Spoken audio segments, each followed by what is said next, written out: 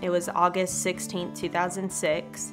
That evening, I was sitting at the, the dining room table with um, Mr. Dalkey, and um, he prayed with me, and I accepted Christ in my heart. I am blessed because I have people to care about me, and I feel as if that God put them there in my life. I now have a new relationship with my brother. I have a new relationship with my mom. My life is new. The light of Jesus has gotten brighter inside me and braver at doing things that I was never have done before.